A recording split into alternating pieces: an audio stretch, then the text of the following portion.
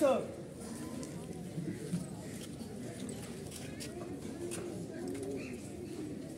Stop! Salut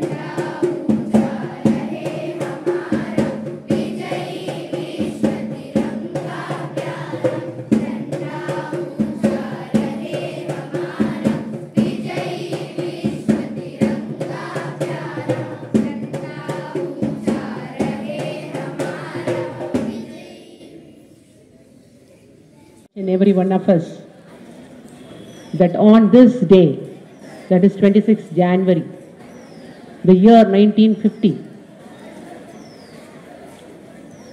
we constituted the Sovereign Democratic Republic India. The constitution of our country, the document which is the supreme, which describes the supreme law of our country, came into force on this day in the year 1950 that we, all know.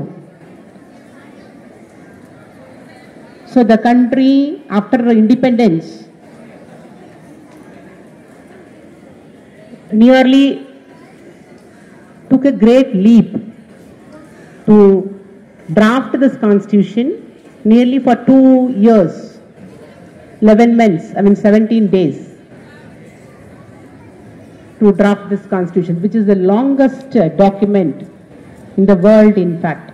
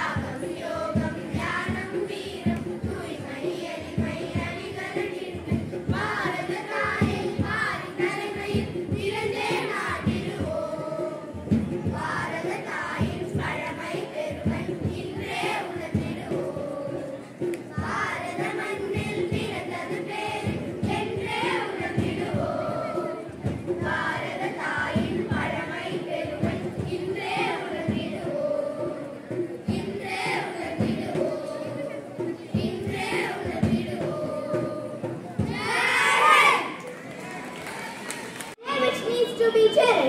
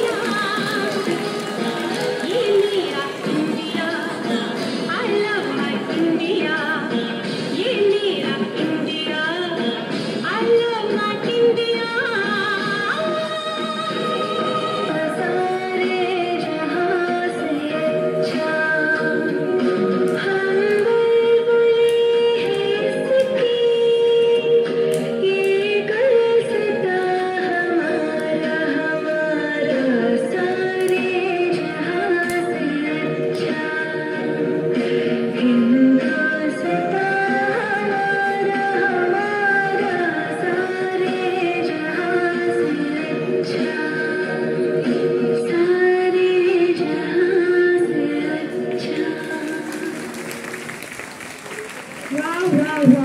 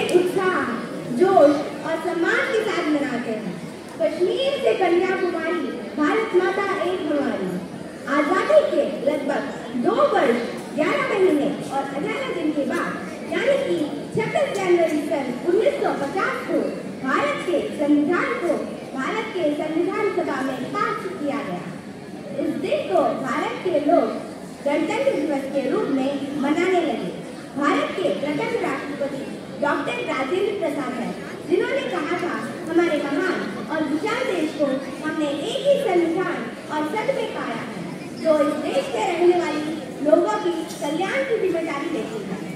अप्रैल उन्नीस सौ चौरासी में उस समय की प्रधानमंत्री ने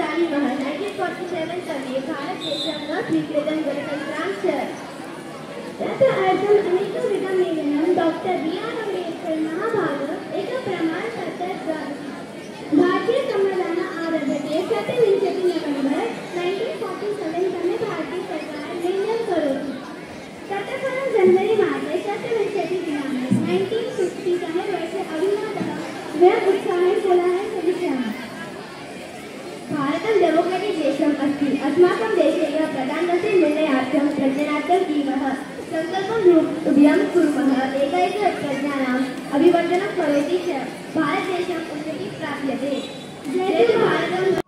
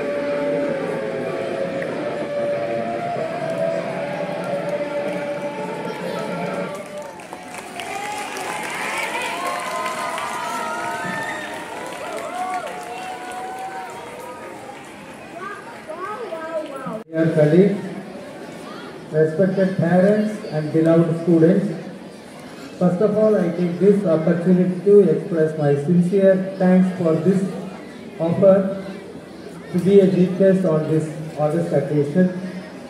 It's a great honor for me in my life, which I will never forget. And today, we are celebrating the 74th uh, Republic Day.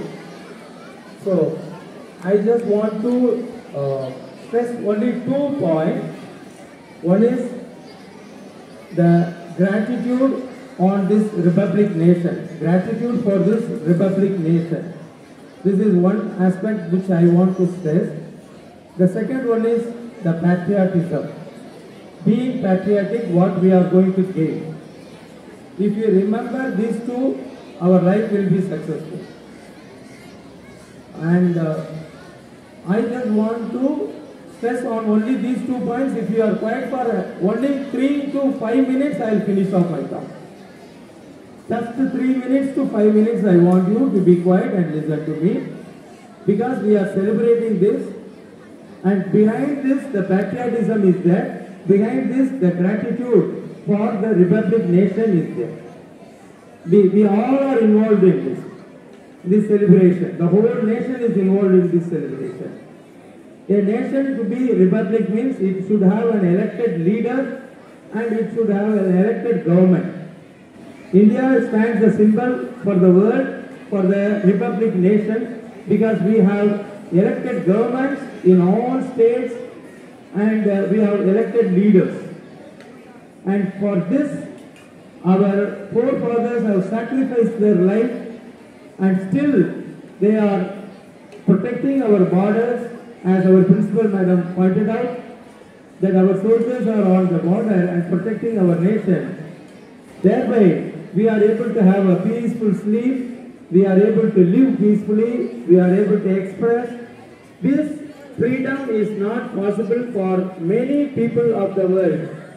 Now you might have seen Ukraine. 80 lakh families shifted from the country. No land to live, no proper food, no shelter.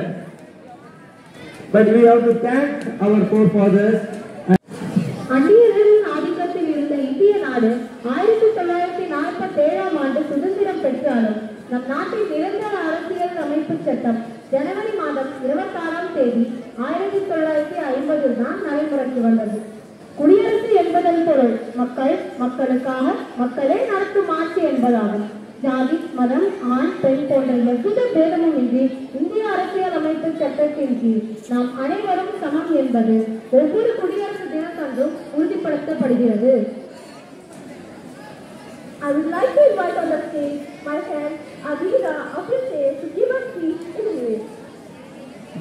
A present here.